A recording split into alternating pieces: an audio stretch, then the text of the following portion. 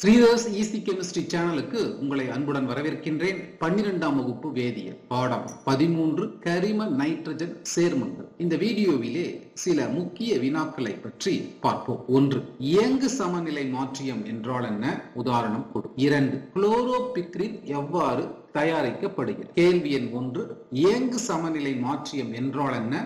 உதாரணம் கொடு. ஆல்பா ஹைட்ரஜனை கொண்டுள்ள ஓரிணைய மற்றும் ஈரிணைய நைட்ரோ ஆல்கேன்களில் ஹைட்ரஜனினுடைய அமைவிட மாறுபாட்டால் உண்டாவது இயங்கு சமநிலை மாற்றியம். இது ஆங்கிலத்திலே டாட்டோமெரிசம் என்று அழைக்கப்படுகிறது. இதை ஒரு எடுத்துக்காட்டு மூலமாக தெளிவாக புரிந்து கொள்வோம் எடுத்துக்காட்டு C H three bond N double bond O ஈதல் சகப்பிணைப்பு ஓ அதாவது நைட்ரோ மீத்தேன். நைட்ரோ மீத்தேன் என்பது ஒரு ஓரிணைய நைட்ரோ ஆல்கே.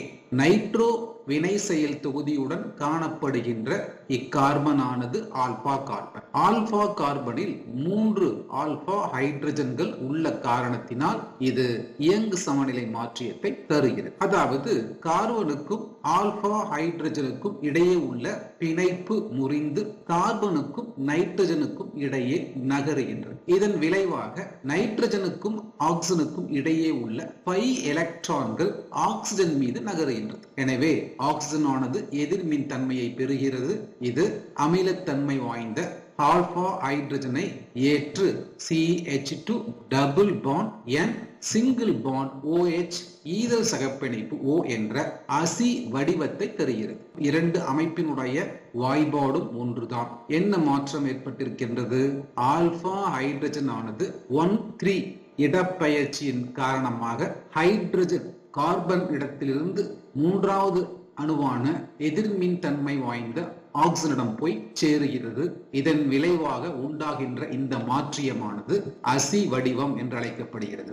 ஆக ஹைட்ரஜனினுடைய அமைவிட மாறுபாட்டால் உண்டாகின்ற இத்தகைய மாற்றியமே இயங்கு சமநிலை மாற்றியம். இந்த நிகழ்ச்சியானது இயங்கு சமநிலை மாற்றியமாதல் என்று அழைக்கப்படுகிறது. மூவினைய நைட்ரோ ஆல்கேன்களில் ஆல்பா ஹைட்ரஜன் இல்லாத காரணத்தினால் இயங்கு சமநிலை மாற்றியத்தினை மூவினைய நைட்ரோ ஆல்கேன்கள் தருவதில்லை என்ற குறிப்பை நினைவில் கொள்ள வேண்டும். கேள்வி எண் இரண்டு. குளோரோபிக்ரின் எவ்வாறு தயாரிக்கப்படுகிறது? அல்லது நைட்ரோ ஆல்கேன்களில் ஹாலஜனேற்ற வினையை எழுதுக. இங்கு பார்ப்பது nitro methane CH three NO two இது குளோரினுடன் சோடியம் ஹைட்ராக்சைடு முன்னிலையில் வினை புரியும் பொழுது நைட்ரோ மீத்தேனில் உள்ள மூன்று ஆல்பா ஹைட்ரஜன்கள் ஒவ்வொன்றாக குளோரின் அணுவால் பதிலீடு அடைந்து ஹைட்ரஜன் குளோரைடாக நீக்கப்பட்டு பதிலீடு அடைந்த விளைபொருளாக C CL three NO two என்ற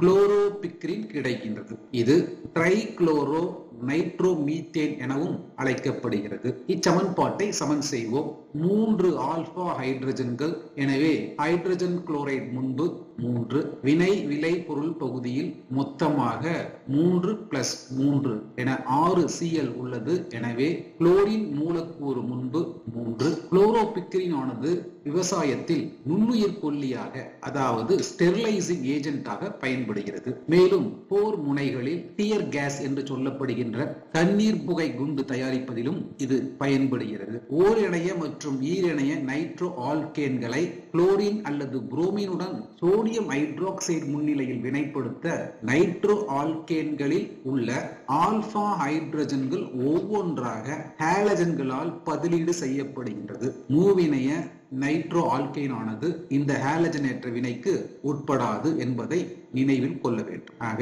இந்த வீடியோவிலே இயங்கு சமநிலை மாற்றியம் மற்றும் குளோரோபிக்ரின் பற்றி நன்கு புரிந்து கொண்டிருப்பீர்கள் என நம்புகின்றேன். இந்த வீடியோ உங்களுக்கு பிடித்திருந்தால் லைக் பண்ணுங்க ஷேர் பண்ணுங்க கமெண்ட் பண்ணுங்க.